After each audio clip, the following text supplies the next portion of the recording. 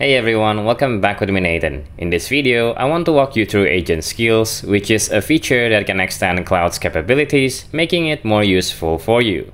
AI agents today are quite intelligent when it comes to general tasks, but they often lack the domain-specific expertise needed for more specialized workflows. Agent skills are designed to help solve this problem. You can think of skills as organized expertise packaged in a way that agents can understand and apply. Claude can automatically invoke relevant skills when working on a task. When your prompt matches a skill's description, Claude is going to dynamically load the skill into context. If the skill references other files or scripts, they are also progressively loaded and run as needed. Skills are also portable, so you can share them across projects and organizations. This way, your team can access the same expertise easily. Next, let me show you how to create and use skills in Claude Code.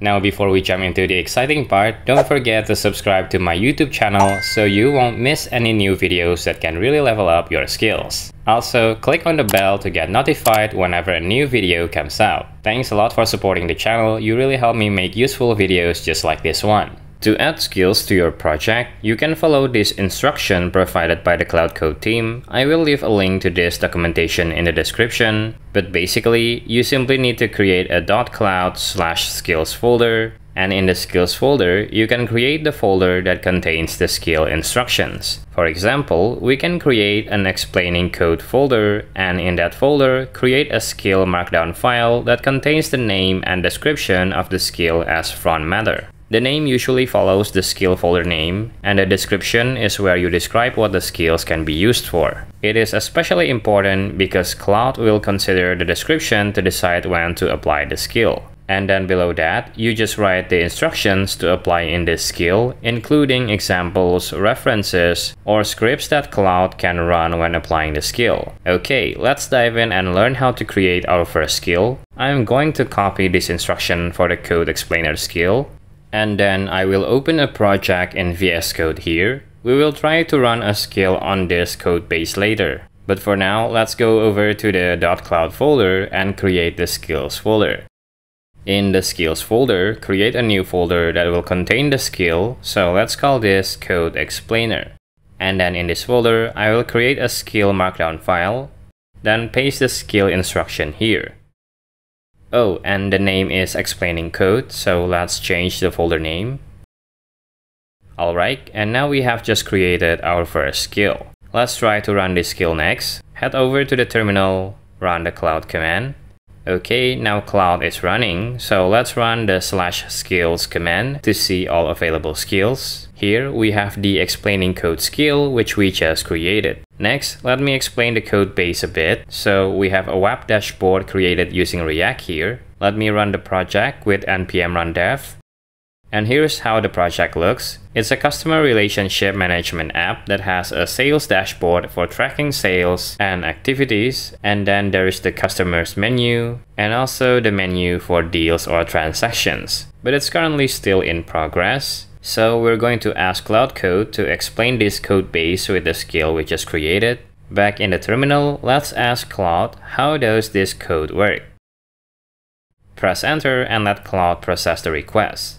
After a while, it will ask for permission to use the explaining code skill as follows. You can allow Claude to run a skill just once, give it permission to use the skill permanently, or simply reject it.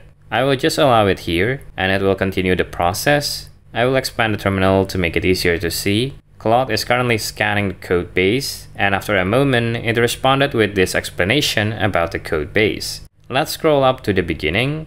So here, we can see the analogy created by Claude to explain this application. This app is like a restaurant with different sections. There is the building or the main entry point, which is the app.tsx file. And then the sidebar is the maitre d' or the head waiter that guides you to different dining rooms. Those dining rooms are the main pages, things like customers, deals, and activities. Each room has its own menu, which in this case is represented by mock data.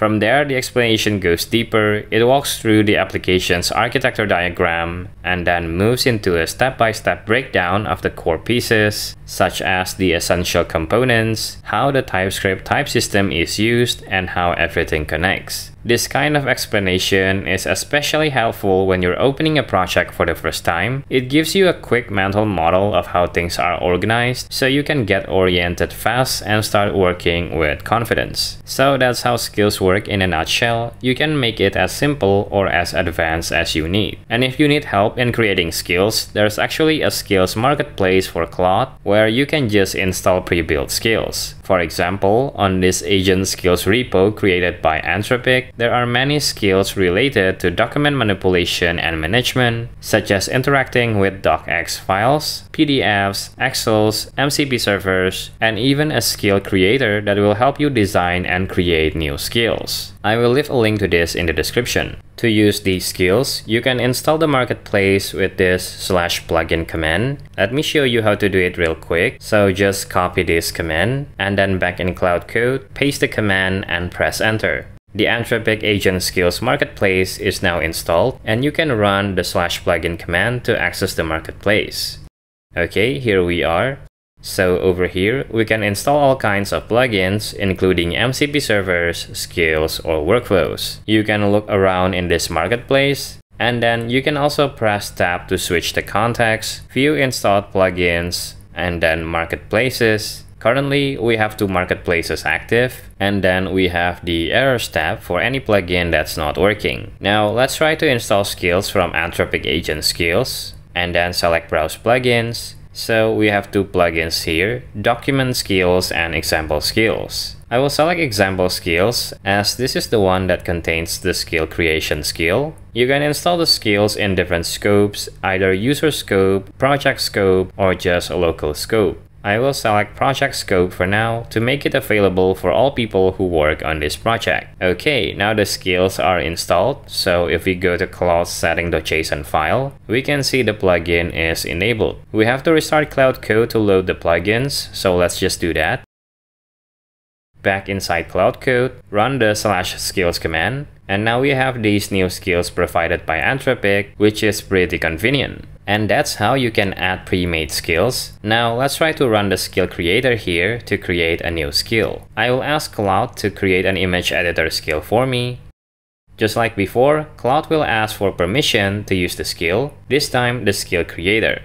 Let's allow that and then it will ask some questions regarding the skill you want to build. For example, what prompts will you use to call the skill? You can select all that apply. I will select this convert PNG to JPEG format and then what Python library should be used for the skill. There is Pillow, OpenCV or both. I will just go with the recommended one here, which is Pillow. And once Claude have all the necessary information, it will start creating the skill. This process will take some time and it might ask for permission to run bash scripts. I will skip a bit to when it's finished. And now the skill has been created. It includes 6 Python scripts to edit an image, applying transformation, filter, format conversion, and so on. It also describes how you can install the skill, but I've gone ahead and copied the skills into the .claude slash skills folder over here. The image editor skill contains the skill.md file for the instructions and examples, and then the scripts folder here contains the Python script for various image editing operations. So let's restart Claude Code first, and then run the slash skills command, and we can see the new image editor skill right here. Okay, let's try to run this skill to edit an image next. Over here, I have an image of a flower, so I will ask Claude to apply black and white filter to the image. Let it run for a second, and it will ask to use the image editor skill. Let's allow that.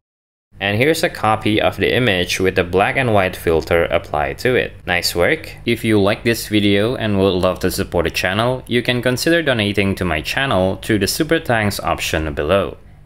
Or you can consider joining my YouTube membership where you can access this channel's emojis, get early access to new videos, plus a lot more. So that's basically how you can create and use skills in Claude Code to extend the agent's capabilities, helping you to achieve more with Claude. You can use skills to let Claude interact with documents, creating and editing images, PowerPoint presentations, spreadsheets, PDF files, and much more. Instead of creating your own skills, you can also use pre-made skills that are shared in public. For example, this awesome Claude Skills repo, which contains skills for various workflows. There is the skill for creating D3 JavaScript charts, AWS development best practices, iOS simulator, MCP builder, and many more. You can explore all these skills if you are interested. I will leave the link in the description below.